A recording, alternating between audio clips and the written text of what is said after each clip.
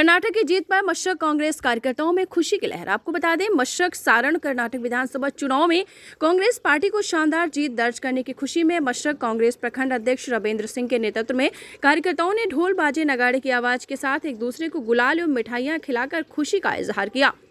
आपको बताते चले विजय जुलूस के साथ पूरा मशरक नगर भ्रमण किया गया। उपस्थित कार्यकर्ता इतने खुश थे कि अपने आप को झूमने और नाचने से रोक ना सके। सभी कार्यकर्ता ढोल नगाड़े की धुन पर ज़ोर ज़ोर से उछलते हुए नाच रहे थे। आपको बताते चले 10 मई को कर्नाटक विधानसभा चुनाव का नतीजा आया है। 13 मई को उस आपको बता दें, चले 10 मई को कर्नाटक विधानसभा चुनाव हुआ था 13 मई को उसका परिणाम आया है। इस परिणाम में कांग्रेस पार्टी को कुल 224 सीटों में 136 सीट प्राप्त हुई हैं। वहीं भाजपा पार्टी सीट चौसठ सीटों पर सिमट चुकी है।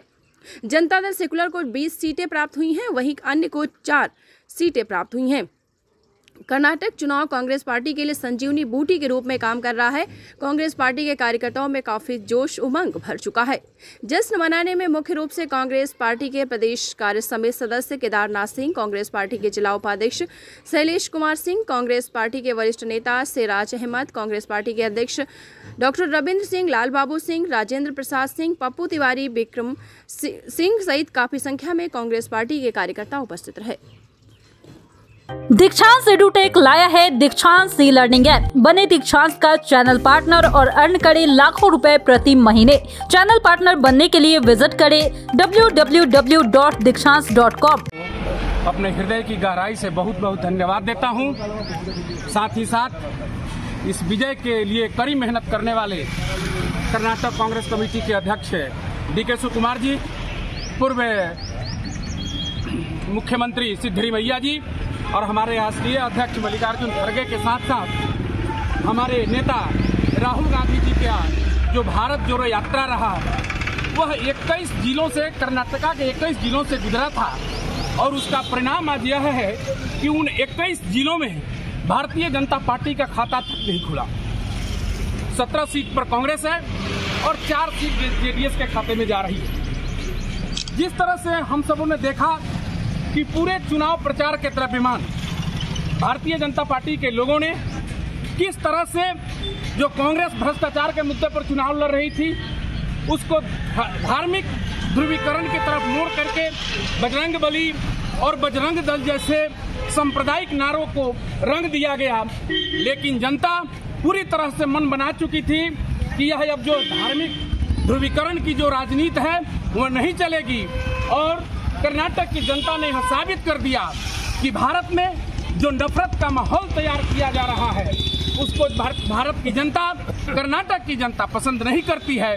और इसलिए उन्होंने एक मुस्त होकर के कांग्रेस के नेतृत्व को स्वीकार किया और कांग्रेस के पक्ष में मतदान किया। इसलिए मैं कांग्रेस के तरफ़ से मसरक प्रखंड कांग्रेस कमेटी के तरफ़ से जिला कांग्रेस कमेटी के तरफ़ से सभी कर्नाटक वासियों को बहुत बहुत धन्यवाद देता हूँ और साथ ही साथ आप लोगों का भी हार्दिक बधाई और शुभकामना देता हूँ। कर्नाटक के चुनाव में आपके पार्टी के मैनिफेस्टो में कहा गया था कि बजरंग दल पर पूर्ण रूप से बैन लगा दिया जाएगा। इस पर क्या निर्णय होगा? क्या कहा देखिए जो चीज़ हमने घोषणा पत्र में दिया था उस चीज़ को लागू करने के लिए कांग्रेस प्रतिबद्ध है प्रतिबद्ध है। निश्चित रूप से इस पर हम विवेचना करेंगे और जैसे ही हमको बजरंग दल के खिलाफ उस तरह के साबुत मिल जाते हैं तो हम लोग निश्चित रूप से प्रतिबंध लगाने का काम करेंगे। पहले प्रणाम। कर्नाटक के सभी जनता को सबसे पहले मैं धन्यवाद देना चाहूँगा कि आज उन लोगों ने यह दिखा दिया कि जो संगठन काम कर रहा था देश विरोधी का, जो देश विरोधी काम कर रहा था, कि धर्म के नाम पर जीतने का प्रयास कर रहा था, उसको उन्होंने हरा दिया।